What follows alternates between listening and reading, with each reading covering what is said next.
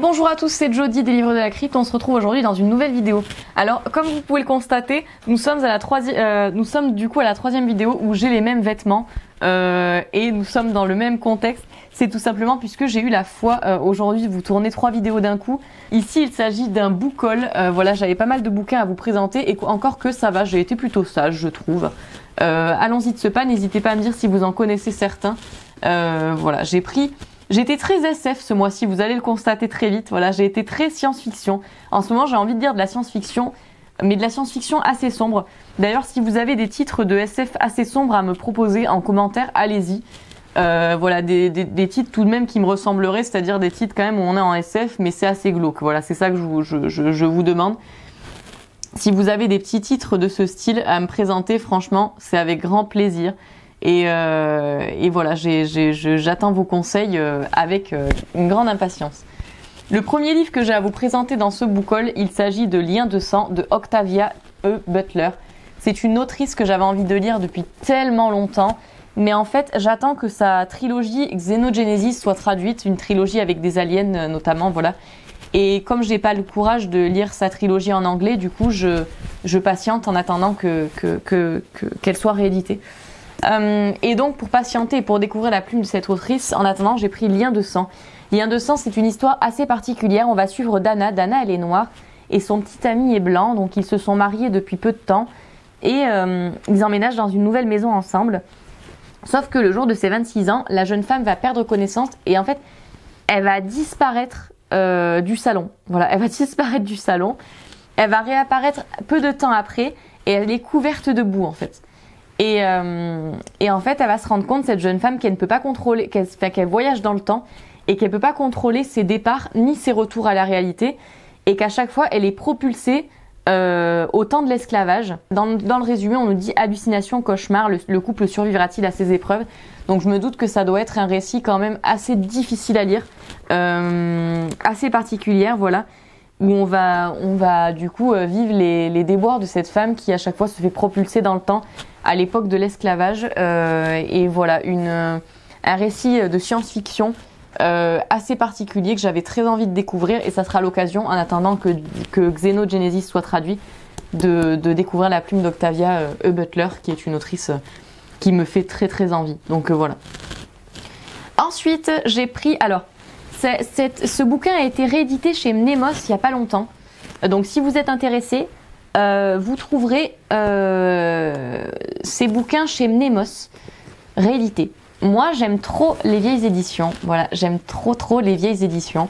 Donc, je me suis procuré les vieilles éditions. Euh, il s'agit de la saga de Titus Crow. Voilà, c'est la légende de Titus Crow.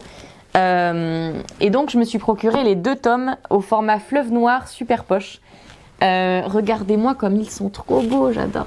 Ils sont pas trop beaux, franchement. Ah, ils sont trop beaux. Et donc, du coup, on va suivre les aventures. Euh, donc, du coup, euh, là, on est vraiment dans, là aussi, de la, de fantaisie, je crois. plus ou moins de la fantaisie.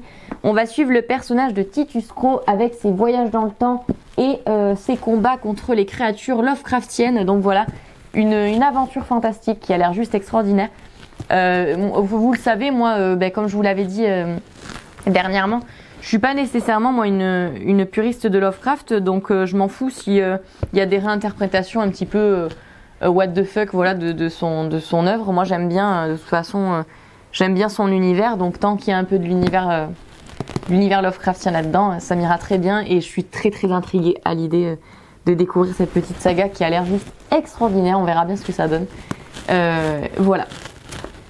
Euh, ensuite, je me suis procuré L'homme dans le labyrinthe de euh, Robert Silverberg. Ça fait longtemps que j'ai envie de lire ça, euh, très très longtemps. Là, on est dans de la SF pure.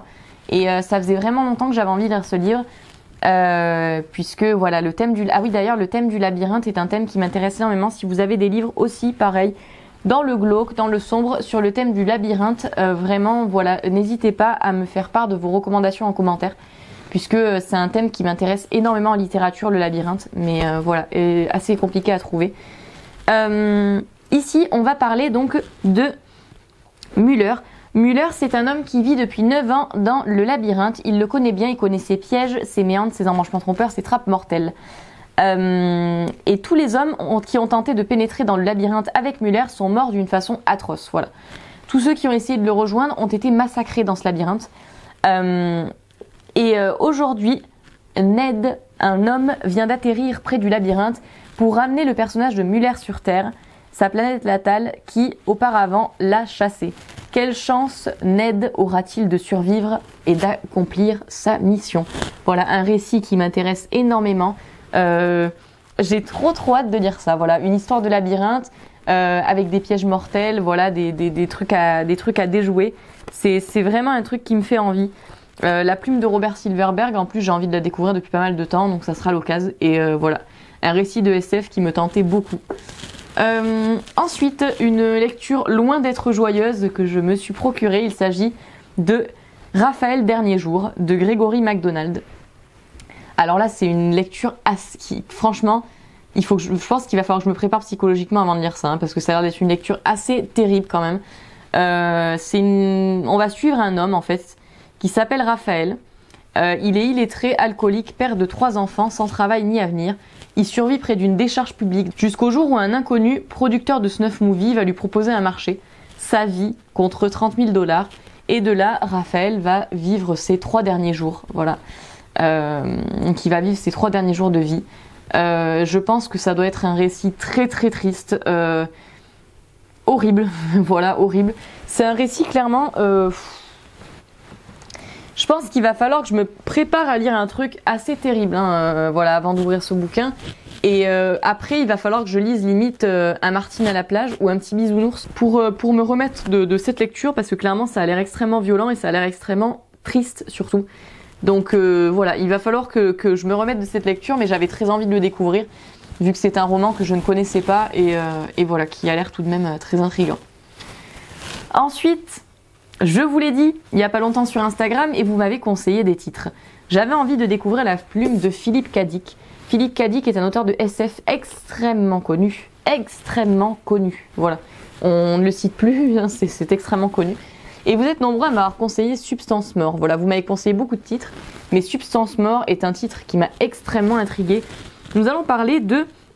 Enfin, nous allons suivre plusieurs personnages. Plusieurs personnages en fait qui. Euh qui vivent dans un monde où règne la substance mort. La substance mort, c'est une drogue qui détruit complètement l'identité de ceux qui la prennent. Et euh, donc voilà, on est dans un univers euh, voilà, de drogue, euh, d'une drogue mortelle. voilà, qui... On va suivre trois personnages différents. Jerry qui est drogué et qui croit que son corps est recouvert de parasites, imaginant qu'il vit en enfer. Jim Barris, petit génie de la chimie qui est capable de produire un gramme pour moins d'un dollar. Et Fred qui travaille pour la brigade des stupes. Donc voilà, on va suivre trois personnages au milieu de ce monde où règne la substance mort, une drogue très dangereuse qui détruit l'identité. Donc euh, voilà, ça me, ça me hype énormément. J'ai vraiment trop trop hâte de lire ça. Euh, et de surtout de découvrir la plume de Philippe Cadic dans un de ses romans. Donc euh, voilà. Ensuite, j'ai pris Les mots du mal, mes correspondances avec des tueurs de David B. Descartes.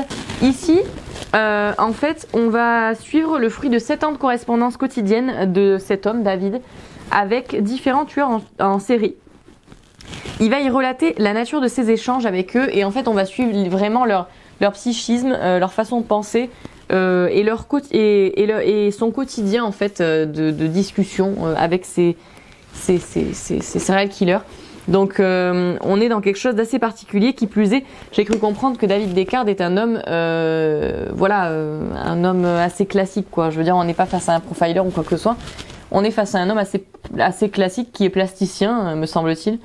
Euh, et, donc voilà, c'est très intéressant. On va suivre en fait ces échanges avec différents tueurs. Euh, voilà, donc un récit documentaire assez glauque, assez effrayant que, j'ai hâte de lire puisque voilà, ça m'a beaucoup intrigué.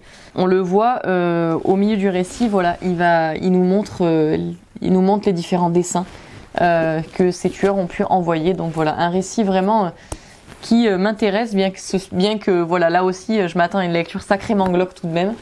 Euh, ensuite, vous avez été nombreux à me dire que ce qui était aussi très intéressant dans la plume de Philippe Cadic, il s'agissait surtout de ses nouvelles.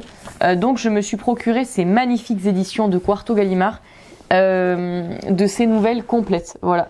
Donc j'ai fait comme avec Mason en fait. Hein. J'ai pris, j'ai pris des ouvrages qui regroupaient ces nouvelles complètes. Je suis assez triste d'ailleurs que la même chose n'existe pas avec Ray Bradbury, puisque euh, voilà, qu'est-ce que vous attendez pour regrouper dans un ouvrage toutes ces nouvelles à Ray Bradbury? Faites-le, faites-le, qu'est-ce que vous attendez? Bref. Et donc du coup, euh, j'en ai fini pour ma parenthèse. Et donc du coup, euh, j'ai pris toutes les nouvelles de Philippe Cadic. Voilà, j'ai pas fait les choses à moitié afin de découvrir du coup sa plume sous forme de nouvelles. J'ai vraiment hâte de découvrir ça puisque voilà quoi. Philippe Cadic, il faut absolument que je me lance, il faut absolument que je découvre son univers. Donc voilà, c'est parti. Je vais me lancer dans toutes ces petites nouvelles très bientôt. Euh, voilà, afin de voir euh, si ça le fait ou si ça le fait pas. Mais bon, je, suis très enthousiaste euh, à l'idée de, lire du, Philippe Cadic. Donc je sais déjà que ça va le faire quoi. Ensuite, autre achat qui me hypait de fou avant sa sortie en fait. J'avais vu qu'il allait sortir. Et du coup, ça me hypait terrible, donc je me le suis procuré. Il s'agit de Notre part de nuit de Marianne Enriquez. Ici, nous, sommes- dans un récit fantastique. Nous allons suivre un père et son fils qui vont traverser la- l'Argentine par la route, donc comme en fuite. Euh, voilà, on pense qu'ils sont en fuite de quelque chose. On se demande où ils vont, qu'est-ce qu'ils cherchent à échapper? Le petit garçon s'appelle Gaspard. Euh, sa mère a disparu dans des circonstances étranges et comme son père, Gaspard, en fait les deux, son père et le, le père et le fils, ils ont un terrible don, c'est-à-dire qu'ils sont destinés à devenir médiums pour le compte d'une mystérieuse société secrète qui entre en contact avec les ténèbres pour percer les euh, mystères de la vie éternelle. Ça vous hype pas de fou ça franchement? Ça vous donne pas grave envie de le lire? Ben moi si, ça m'a donné envie de le lire du coup. Donc forcément, ben voilà, je l'ai acheté. C'est un pavé César par contre, hein. la taille de ce bordel, franchement, la taille de ce bouquin, non mais c'est incroyable. Un sacré pavé César ce truc-là. Euh, donc voilà, mais que j'ai vraiment hâte de lire. En plus, en plus, le livre en lui-même est absolument magnifique. Quoi. Il y- a plusieurs parties en fait dans ce récit qui sont découpées comme ça, voilà. Voilà, vous les avez découpées comme ça avec des pages noires. Et euh, ouais, non, clairement, c'est un récit qui me hype de fou. Et moi, j'aime trop ce tableau. Voilà, j'aime trop la couverture parce que ben, ce tableau, il est trop beau. Je, je, je- j'adore. Voilà, après, euh, c'est chacun ses goûts, mais moi, j'adore. Et ça a l'air d'être une épopée fantastique, euh, assez particulière, très originale, que j'ai vraiment trop hâte de lire parce que moi, ben, j'adore les bouquins originaux comme ça, avec leur propre univers, qui retracent des épopées fantastiques. Ça ne peut que me donner envie. Là, les amis, je vais vous présenter en dernier bouquin de ce boucol, le meilleur pour la fin. Nous sommes sur une pépite, les gars. Une pépite. Quelle pépite. J'ai trop hâte de lire ça. Oh là là, qu'est-ce que j'ai trop hâte de lire ça. Euh, je suis une grande fan de l'univers d'Alien. J'adore l'univers d'Alien. Voilà, que dire de plus? Je suis une grande fan d'Alien. Comme beaucoup de gens, je pense. Et j'ai eu la chance de trouver d'occasion cette beauté, cette magnifique beauté, pour seulement 13 euros, les amis. 13 euros d'occasion. Alors que ce bouquin est un livre qui coûte à la base, regardez, 39,50 euros. Et je l'ai eu à 13 balles, donc je suis, mais j'ai été tellement heureuse, vous imaginez même pas.